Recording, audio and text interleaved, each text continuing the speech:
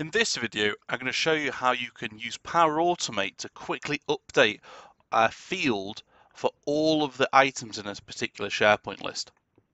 So this is based on a real world scenario where I actually had a list um, that I'd imported from a CSV, an Excel spreadsheet into a list and actually um, once we got going and we started using the data as part of uh, a solution, we realized actually there was a certain field value um, that needs to be updated on mass. Um, now, you could technically, if, if you only had, say, a couple of hundred rows, you could use the editing grid view. You could change the value like this, and then you could change it by pulling it down like this um, very quickly um, if you only had a handful of items. But actually, um, I had loads uh, of items in there. So actually, it made sense that we automated that and we created a very quick Power Automate solution um, that, that I knocked together. And what ended up happening was we could use that to then go back through very quickly with the logic to say, for example, if uh, location uh, equals choice 2, then change that to choice 3. And then very quickly that went through and updated all of my items to achieve that. So let's take a look at how we actually go about doing this. So the first thing I'm going to do is navigate to office.com which is the homepage of Microsoft 365.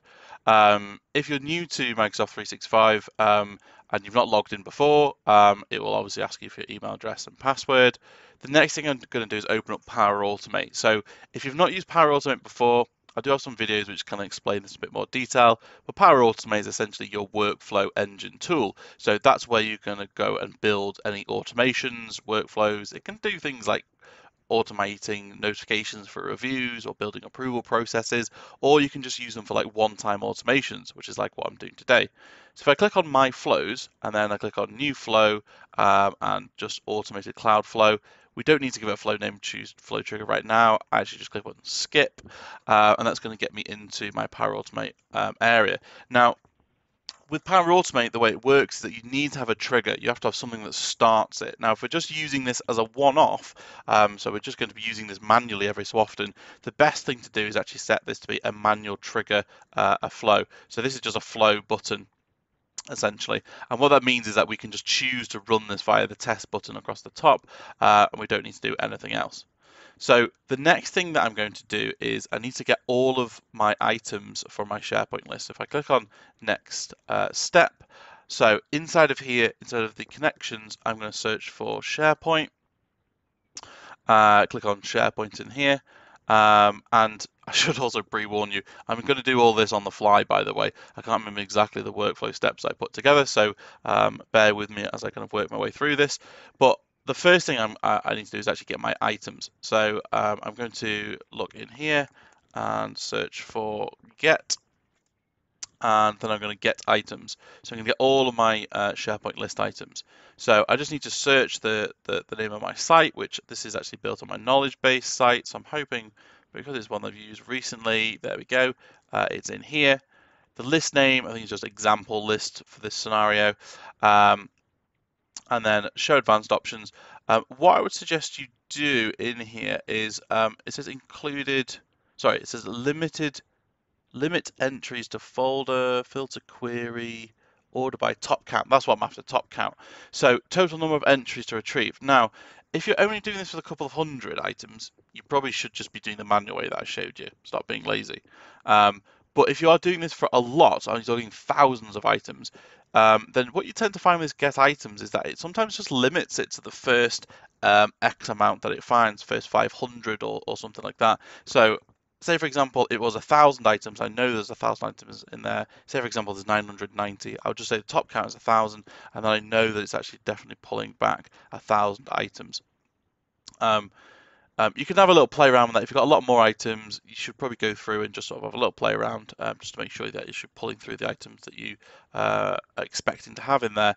And actually, something that I also do as well um, is I like to use a lot of variables inside of um, my workflows so I can print out what I'm seeing inside my workflow as it's kind of working through.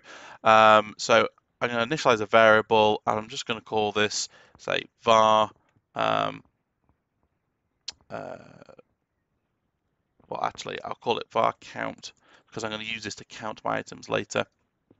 and I'll set this to be an integer and it's going to starting value is just going to be blank for now. Another little top tip as well is I like to just update this with the name of my variable. Um, this isn't going to be a very large workflow, but just it's good practice. I always think if you just put in uh, what the name of the variable is that you're initializing, um, just so in the future, if someone else came to look at this workflow, that they can quickly break it down. So then I'm going to do, uh, I need to add my condition. So the next step is a control and it will be a condition because what I want to do is I want to say, okay, um, for, for, basically for each of these items in here. Now, if I was just adding the value here, you'll notice it'll automatically, uh, well, it should have. Um, maybe I need to do more than this, but it should automatically wrap this in a uh, for each. So instead, I'm just going to just make sure I put in a uh, for each control, sorry, apply to each it's called. And I'm going to add in my value into here. So I'm just going to add in uh, the, from the get items, I'm adding value. So basically what I'm doing is I'm saying for each of the uh, items that you find in this list, um, apply this logic. So I'm going to apply my condition to every item that it finds that it pulls back in this list. So this is now where I'm going to say, okay, um, choose a value. So what I'm going to do is I'm going to base this on my location field, so it's my location value, and I'm going to say um, that it does it contain. So if it contains choice two, then what I wanted to do is I want to update the item. So back into here, I'm going to look for SharePoint uh, as a connector, and then I'm going to use the update item action. Again, I just need to set the list that it's for, example list, and then under ID, you can just see here get items ID, uh, and that's basically the, the current item of this. So then from here, I would set the location values. So let's say uh, we're going to set this to choice three. And um, the other thing I want to do as well is I'm going to increment the um, var count, the variable. So if I put this and say um, increment, so increment variable, and I'm going to increment my var count by one. The reason being is, um, say for example, if you did have hundreds or thousands of items that was in, in here, and you knew those thousands, it's a great way of debugging is to be able to actually print out that increment variable at the end so that you can see um, what the total count was uh, that it got to. And in fact, you might want to even do something like send yourself an email with um, the, the, the, increment variable at the end so that you know um, at the very end of this. So let's just close this down. Uh, so uh, I'll say send email. Um, and I'll say send this to, um, just put in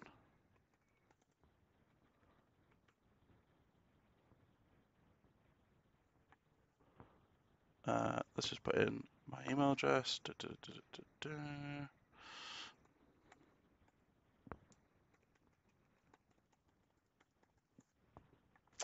uh, subject, we'll just say that this is um, uh, test complete.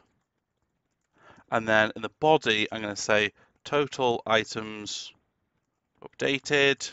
And that's where I'm going to use my variable down here whatever that is.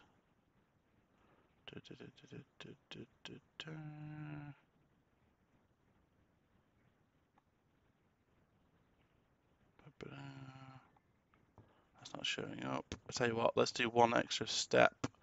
Um, let's initialize a variable. And what I'm going to use, so this will be my var total string. Perhaps we can make that an integer as well. Again, I'm just going to update this just so I know what that is. And then in my email, I should now see, oops. So I missed one more step. Um, it is making sure that I actually set the variable. So set variable. So what I'm going to do is I'm going to set my um, var total to equal the var count. So now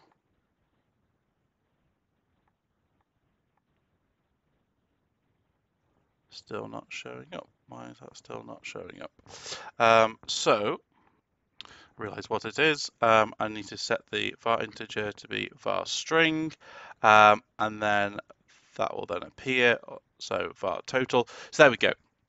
Um, so now I've got that, I can actually either use it from the email that it sends me, or I'll be able to read it because it'll be printed out inside of the workflow. I'll give my workflow a name, so I'm going to say update SharePoint list items.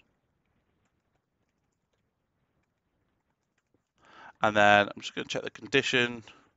So it was when it contains choice 2, it's going to set it to be choice 3. So all those are choice 2.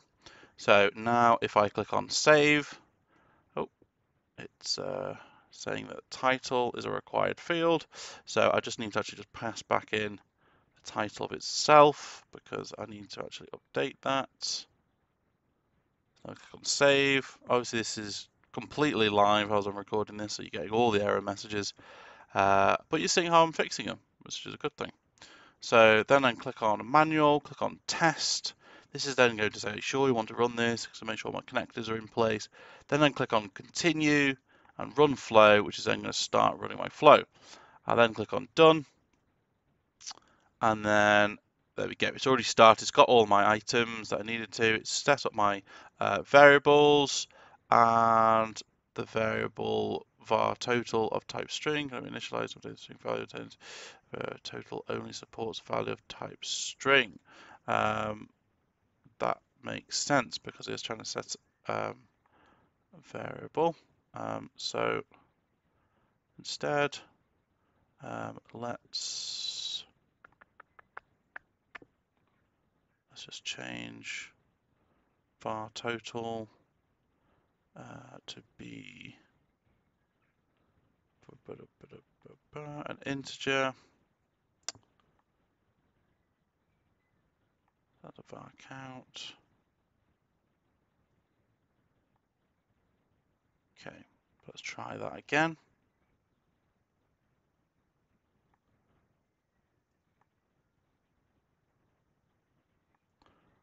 Run flow.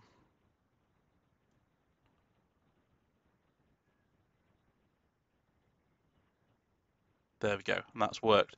And now you can see the total var is zero. And why is that? Let's wonder. So as it updated, yes, it's everything, updates everything to choice three. So why is that put var total to zero?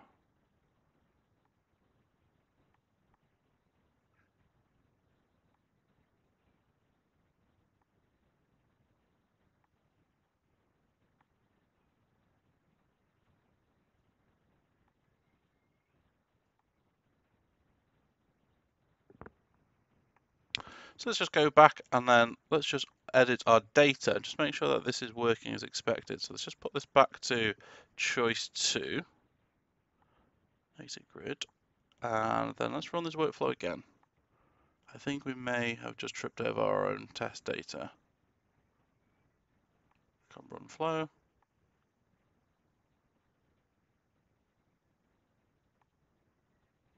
Everything's set to choice two currently.